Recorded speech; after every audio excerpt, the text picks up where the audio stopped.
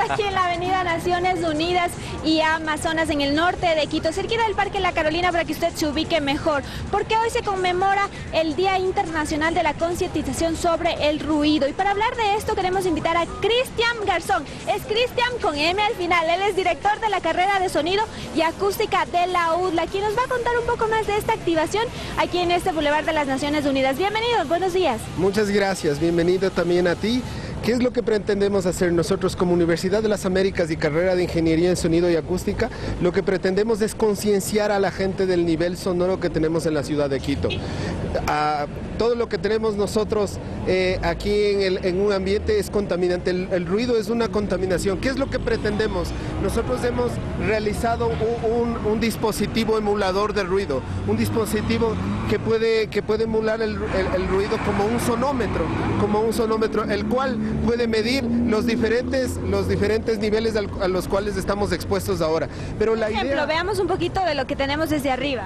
O sea, lo que tenemos ahorita, tenemos el primero en la gráfica, en la parte izquierda, lo que tenemos nosotros son los niveles. La gente no relaciona los niveles de, que son la unidad de medida, los decibelios, con lo que está pasando. Si la gente le dice es un litro, la gente entiende claramente. Claro. Pero si le dice 60 decibelios, no, no lo va a entender. Entonces, ¿qué es lo que pretendemos nosotros? Hacer relaciones. ¿Qué es lo que está sonando en ese momento? 70 decibelios, una aspiradora, el secador de pelo de, la, de, la, de las que está en las casas, la maquinaria en una fábrica, eso es 90 decibelios. Aparte de ello, nosotros tenemos unas relaciones que están, son efectos de alerta, efectos cardíacos, te quita el sueño, existe pérdida de la audición. Estas, estas cuestiones son lo que hace que nosotros podamos concienciar a la gente, educarla, educarla sobre el ruido. Entonces, con este dispositivo diseñado por los estudiantes de la carrera, lo que pretendemos es que visualice la gente, la comunidad que visualice los niveles que se están emitiendo diariamente en la ciudad de Quito. ¿Esta es la primera vez que realizan ese tipo de dispositivo?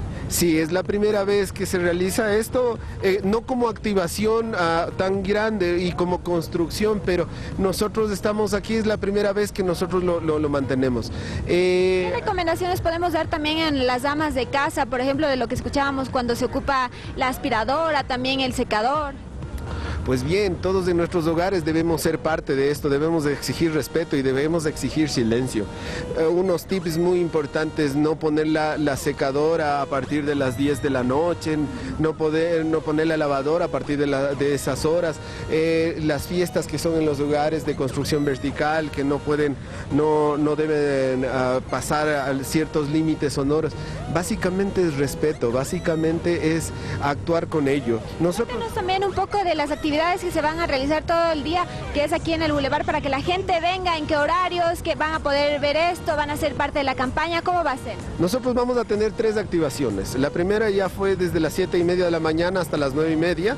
La segunda va a ser a las 11 y media y a las 12 en punto del día vamos a hacer un minuto de silencio como se conmemora en todos los países que celebran este Día del, Internacional de la Concienciación del Ruido. Y el, la tercera, si Quito nos lo permite y el clima nos lo permite, lo haremos también a partir de las 4 y media de la tarde.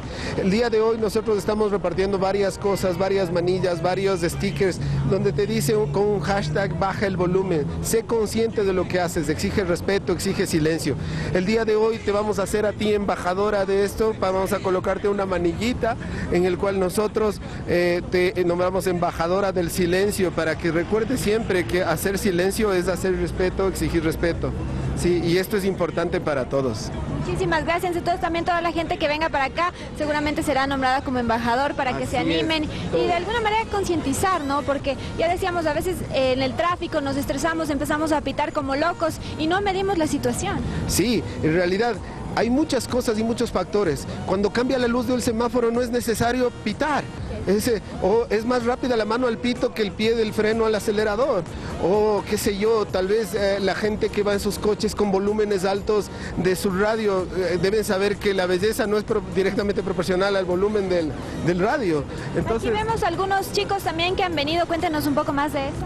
Nosotros llevamos una campaña como Universidad de las Américas y carrera de Ingeniería en Sonido y Acústica, la cual es la campaña No Más Ruido y concienciamos a colegios, les enseñamos lo que deben hacer ellos eh, están a- ahora en este momento alzando tarjetitas rojas cuando se hace ruido y cuando cesa la fuente ruidosa le dan una tarjetita verde. La idea es que toda la gente sepa que hay mejores maneras de expresarse y no necesariamente debe ser contaminando sonoramente. Perfecto, le agradecemos mucho a Cristian por toda esta información.